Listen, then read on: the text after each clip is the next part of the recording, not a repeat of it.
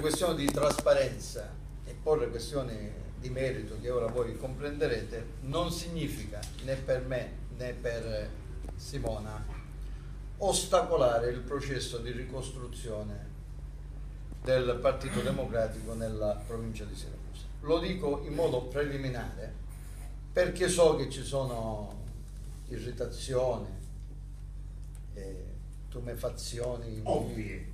Ovvie e scontate. Io li voglio tranquillizzare. Per quanto mi riguarda e per quanto ci riguarda, parlare di determine, di delibere e di altro che ora dirò non significa né alterare né voler ostacolare, lo dico senza ironia ovviamente, il processo faticoso, difficile ma necessario e possibile di ricostruzione del Partito Democratico nella provincia di Siracusa.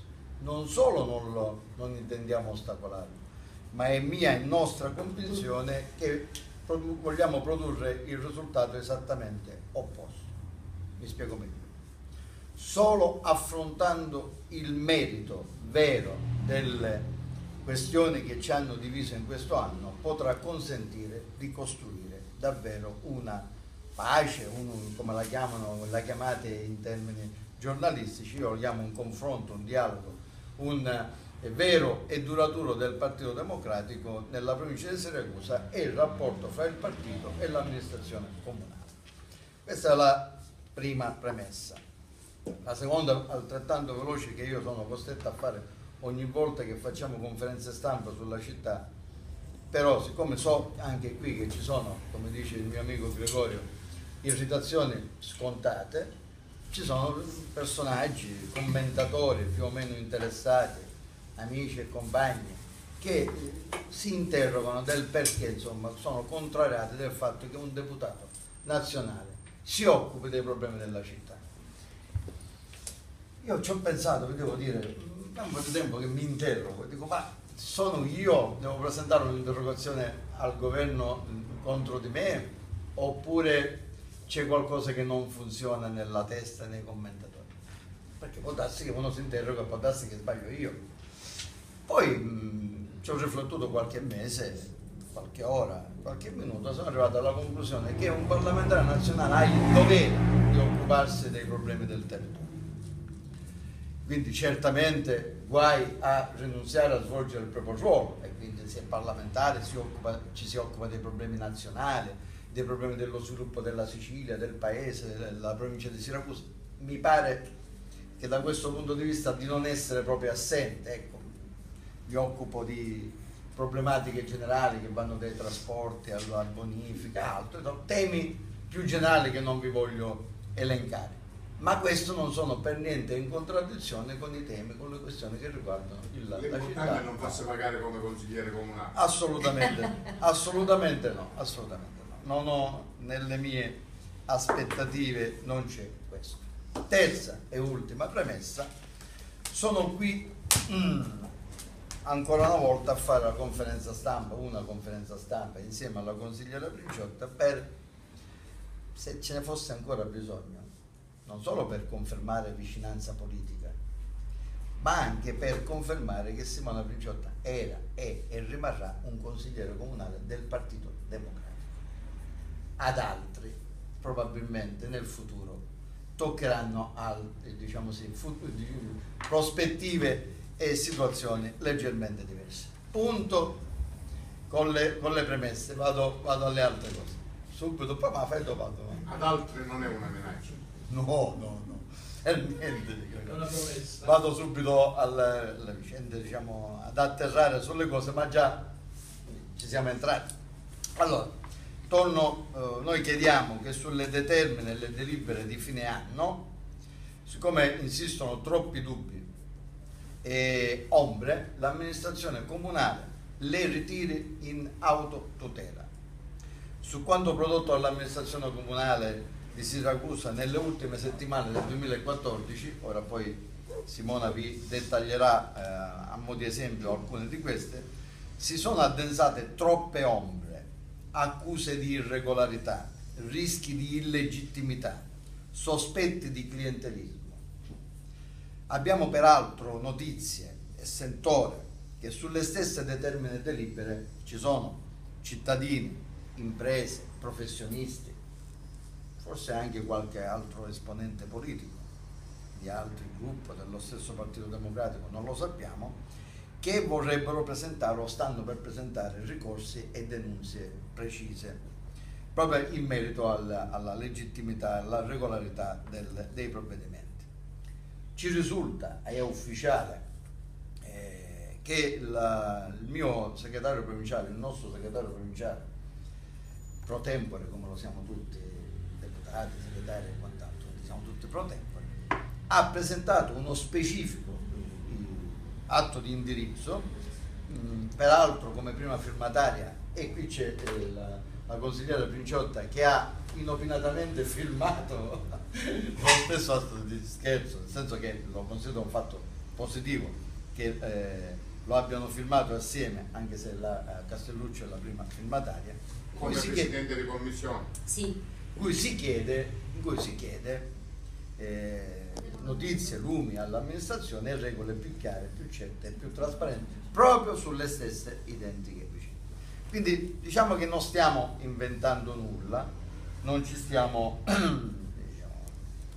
eh, non, non c'è una chissà quale attacco pretestuoso.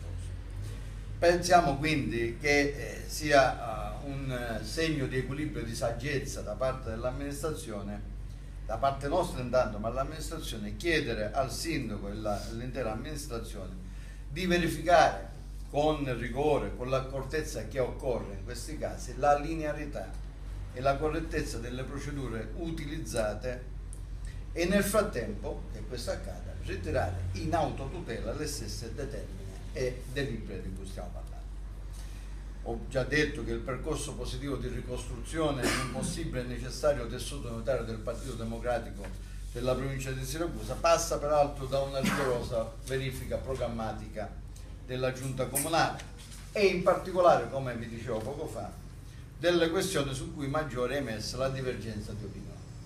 Parlo e parliamo della gestione del servizio idrico, del bando della raccolta dei rifiuti, delle politiche sociali e di queste determine e delibere sono ovviamente tra i provvedimenti su cui maggiori sono le riserve e le contrarietà. Io spero proprio e devo dirvi di essere fiducioso sul fatto che nelle prossime settimane con il sindaco e la giunta si possa sviluppare nell'ambito di questo percorso e di questo nuovo clima eh, positivo che si sta tentando di affermare, un confronto serio e di merito sulle vicende della città che rimangono, per quanto mi riguarda, lo voglio dire a scanso di equivoco, le questioni fondamentali della divisione del partito dell'ultimo. Gli assetti sono importanti, è importante avere un, un assessore in giunta, noi lo rivendichiamo, ci è stato detto che prima o dopo questo avverrà, ma se non si chiariscono questioni fondamentali che riguardano i diritti dei cittadini, che riguarda la qualità dei servizi, che riguarda il, livello di trasparenza e di legalità che sono stati realizzati in questo anno su temi così delicati. Siccome chi, chi dirige attualmente l'amministrazione è del Partito Democratico, io sono interessato in prima persona e siamo interessati a che ci sia il massimo della chiarezza e della trasparenza e non, nessuna nube possa addensarsi sulla gestione dell'amministrazione. Quindi lo faccio per tutelare l'amministrazione, ma per tutelare il buon nome e l'immagine del Partito Democratico, quindi per quanto mi riguarda. Detto questo, Le posso Certo. Lei ha, ha detto Grazie intanto a tutti per essere intervenuti la stampa in modo particolare, perché questo è un argomento a cui tengo molto. Infatti a chi sostiene che i panni sporchi si lavano in casa, in famiglia, eh, è importante dire che eh, non parliamo, eh, questo può accadere se eh, utilizziamo i soldi dei conti correnti personali. Noi stiamo parlando dell'utilizzo di fondi e di soldi delle casse comunali dunque dei siracusani. E siccome oggi eh, i senza tetto a Siracusa non sono più né gli extracomunitari né i barboni, ma sono i siracusani, è giusto che la città eh, sappia come questa amministrazione investe il denaro dei siracusani. Eh, anche perché questa amministrazione ha eh, votato delle tasse che non sono sicuramente irrisorie, noi paghiamo la Tares più alta d'Italia perché da un anno e mezzo il sindaco e l'amministrazione ci dice di aver ereditato una situazione economica catastrofica, di avere un bilancio lacunoso. Oggi eh, tutti sappiamo che sono state fatte un numero eh, consistente di delibere di determine eh, che hanno come oggetto quello che loro chiamano patrocinio oneroso. Loro lo chiamano patrocinio oneroso perché, perché eh, l'articolo 12 e 13 della legge regionale, la 241-90, così come l'articolo 26 e 27 del decreto legislativo eh, 33-213 sulla trasparenza e l'anticorruzione, dicono che eh, qualunque eh, contributo, anzi vi, eh, dico proprio recitano, recita che la concessione di contributi, sussidi e vantaggi economici di qualunque genere, per cui chiamarlo eh, patrocinio oneroso invece di contributo non, non dà la possibilità di eh, operare in difformità, mi piace usare questa parola, difformità da quello che dice la legge, perché la legge parla di qualunque somma di denaro, in genere, deve essere subordinata alla pubblicazione, ad un'evidenza, ad una procedura di evidenza pubblica, in modo tale da dare la possibilità a tutte le associazioni e le società di poter partecipare,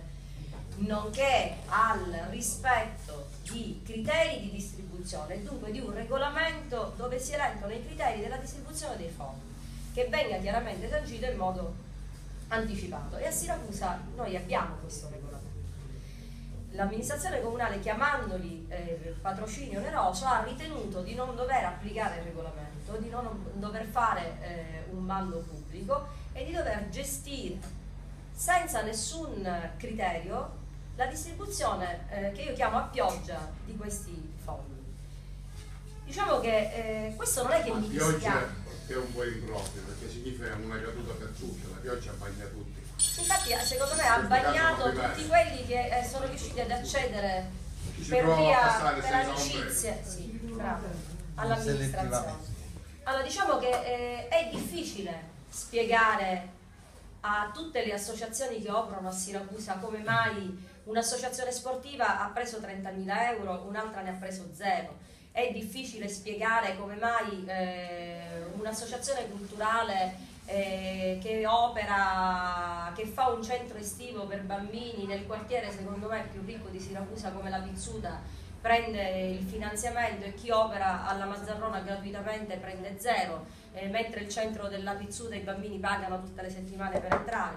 Non solo, una delibera fatta eh, dove si dice che il contributo serve perché attenzione, fino ad oggi sono stati dati contributi alle società sportive, ma che eh, Siracusa, che i siracusani eh, debbano beneficiare dei soldi propri è una cosa giusta, esatta, ma non si danno 30.000 euro a un'associazione sportiva per fare beneficiare il figlio del notaio, mio figlio, il figlio di Gregorio Valvo, che possono pagare il mensile e dunque fare sport si, eh, si danno dei, dei, fondi, dei contributi per agevolare chi ne ha bisogno.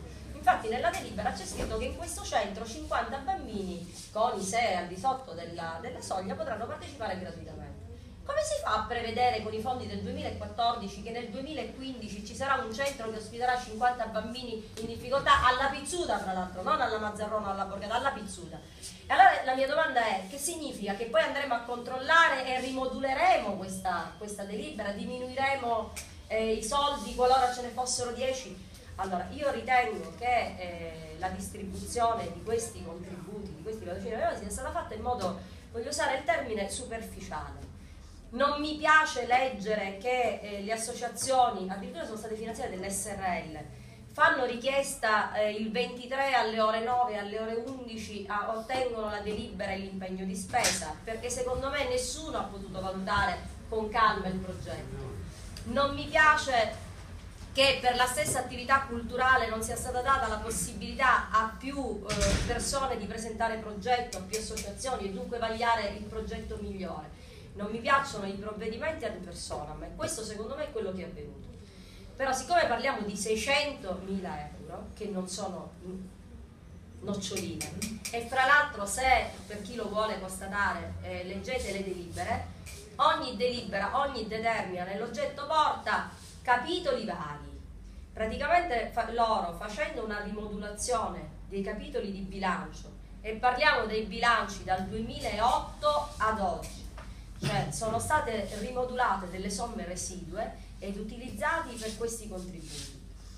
Io non lo so se tecnicamente è corretto, probabilmente è corretto rimodulare queste somme, però non possiamo dire alla cittadinanza che paghiamo la Tares più alta del mondo sapendo poi che dal 2008 ad oggi abbiamo trovato nei bilanci precedenti centinaia di migliaia di euro di soldi non utilizzati, è un controsenso in termini. Per cui la conferenza stampa esiste, ne esisteranno tante altre, fino a quando quel palazzo di vetro di cui tanto abbiamo parlato non si costruirà.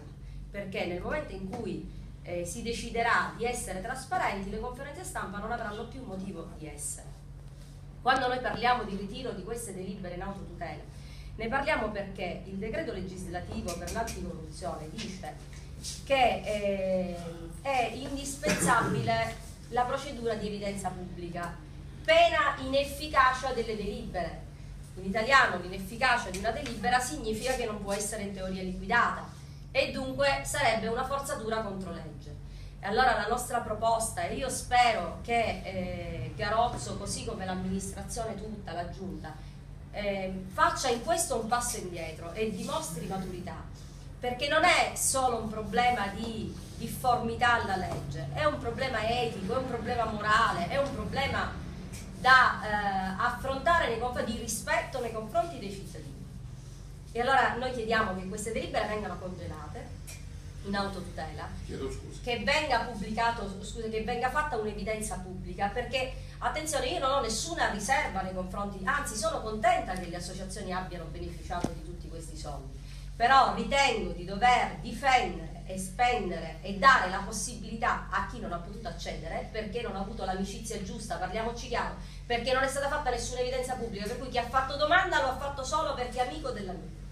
Allora io eh, propongo all'amministrazione Chiarozzo di ritirare in autotutela le delibere che comunque potrebbero essere impugnate da un momento all'altro e le determine, di fare un'evidenza pubblica e di dare a tutte le associazioni di Siracusa la possibilità di poter fare richiesta e, e, ridistribuire queste somme in modo equo e con il rispetto di criteri predeterminati. Ci sono eventi che già sono passati. Le... I finanziamenti dati alle, alle, società, però io devo capire perché un'associazione di vela prende 20.000 euro e quella di basket prende 0, perché quella di calcio ne prende 30.000 e quella di scherma eh, ne prende 2.000 cioè ci devono essere dei criteri, devo capire perché alle chiese è stato ridotto ed è stato dato 1000 euro. Cioè io voglio che qualcuno mi spieghi quali sono i criteri e soprattutto che i criteri vengono predisposti prima della distribuzione.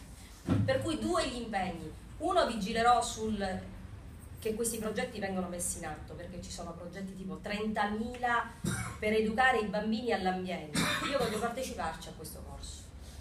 Io voglio partecipare a questo progetto, voglio portarci i miei figli, anche se pagano se non hanno diritto alla gratuità.